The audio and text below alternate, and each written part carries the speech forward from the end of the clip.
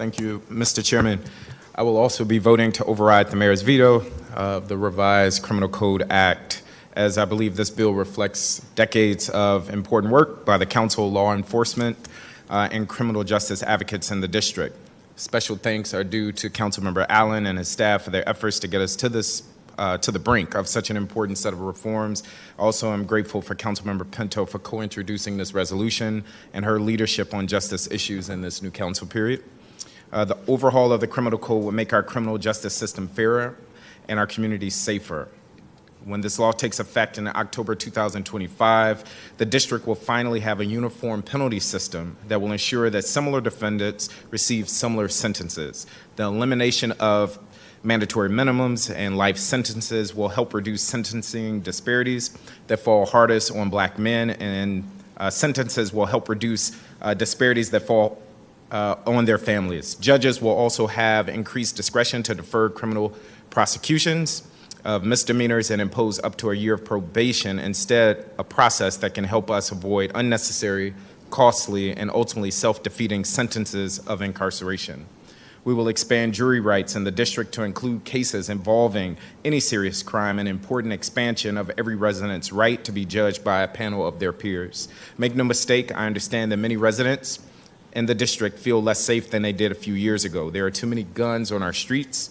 Too many of those guns are in the hands of children, and far too many residents, many of them children, are the victims of violent crime. I look forward to working with council colleagues on solutions to these very serious problems.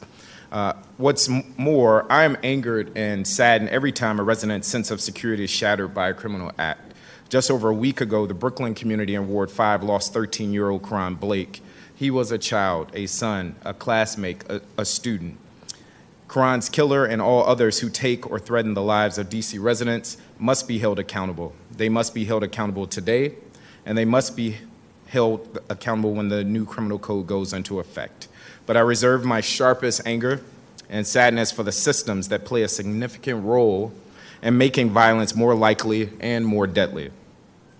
We have an obligation to work together to confront the environmental, economic, and social inequities that help explain why members of some communities in our city are much more likely to become justice involved. We have an obligation to come up with new tools uh, to confront gun manufacturers who profit from flooding communities like mine with weapons they know will be used in murders and carjackings. My pledge to Ward 5 residents, to partners on the council, and in the executive is that I will work with you in good faith to confront the systems responsible for violence in our city. Let's build healthier, safer communities together.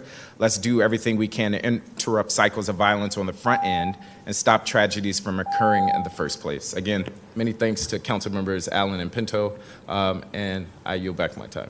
Thanks.